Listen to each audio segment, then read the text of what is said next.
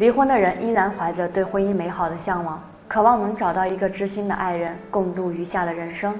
可现实是，二婚真的挺难挺累。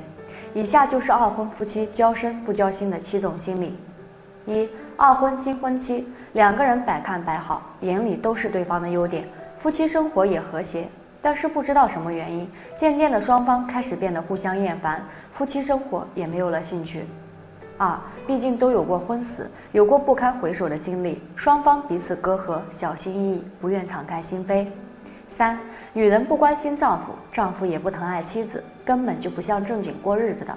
四，常常为孩子的事吵得不可开交，毕竟孩子不是亲生的，所以使唤教训起来不留情面，而另一方护犊子也不是吃素的。五，两个人真心交流的时间很少，更别谈交心。坐在一起也是各玩各的手机，简直就是漠视对方的存在。六，彼此猜疑对方，没有信任，是不是还跟前夫、前妻藕断丝连？是不是还有其他头绪等？七，江山易改，本性难移。二婚的人几乎都还保留着之前的本性，丝毫不悔改，不迁就对方，难缠蛮横，不讲理，问题多多。二婚夫妻真正幸福有多少呢？大多数都是不幸福的，而幸福婚姻是需要用心经营的。